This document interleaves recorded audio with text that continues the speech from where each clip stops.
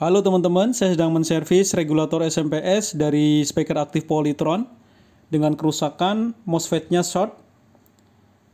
Ini sudah saya cabut dan akhirnya sikringnya pun terbakar ya. Jadi mati total. Untuk kerusakan MOSFET short ini bisa juga karena MOSFET-nya yang tidak kuat. Namun ada juga yang dari rangkaian primer regulatornya yang bermasalah. Untuk mengetahui hanya MOSFET-nya saja yang rusak atau karena penyebab dari regulator primernya yang bermasalah sehingga MOSFET short, maka kita harus melakukan pengecekan tegangan di pin gate dari MOSFET-nya. Setelah kita lepas, jangan langsung kita ganti MOSFET-nya karena kalau terjadi kelainan di regulator primer, maka MOSFET akan kembali short dan akan memakan biaya banyak. Maka dari itu, kita lakukan pengecekan dulu di pin gate dari MOSFET tersebut. Caranya adalah probe hitam di negatif elko utama ini ya. Bukan di ground, tapi di negatif elko primer 300 voltnya ini. Kemudian probe merahnya di pin gate. Ini pin gate-nya di sini. Di pin gate ini harus ada tegangan sekitar 5 volt. Kalaupun kurang hanya sedikit ya. Kalau di sini masih 0 volt, atau sekitar 1 atau 2 volt jangan sampai MOSFET-nya dipasang karena sudah pasti akan short lagi oke kita lakukan pengecekan dulu. Kita colokin stekernya.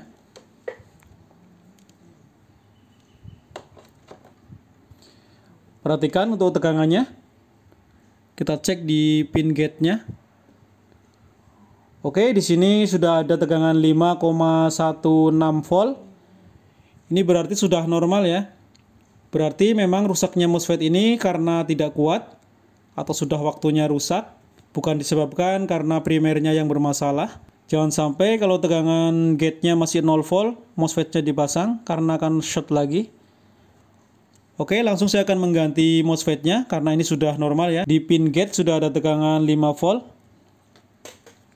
Untuk MOSFET-nya ini aslinya menggunakan K7A65D dan saya akan menggantinya dengan MOSFET 7N65C ini sama saja artinya 7 ampere 650 volt.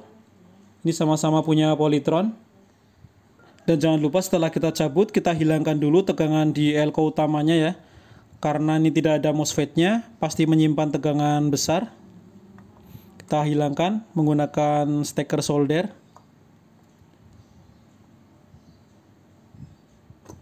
Oke, sudah hilang.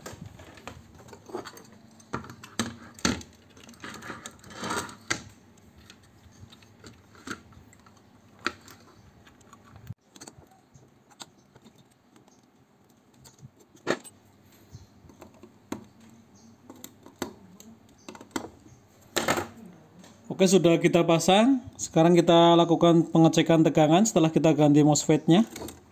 Nah untuk kali ini kita lakukan pengecekan tegangannya yaitu di output dari power supply ini.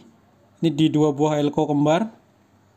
Untuk tegangan simetris kita cek dulu.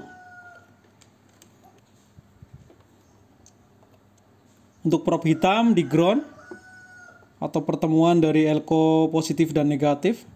Kita cek tegangan positifnya.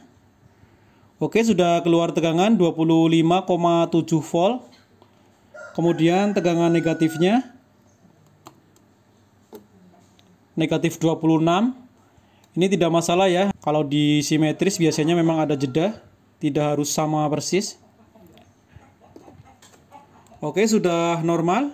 Oke, demikian. Jadi intinya jangan mengganti MOSFET yang tadinya short langsung dipasang MOSFET-nya. Namun harus dicek dulu tegangan pin gate-nya. Harus sekitar 5 volt. Kalau masih 0 volt, jangan sampai dipasang karena MOSFET akan short lagi. Oke, semoga bermanfaat.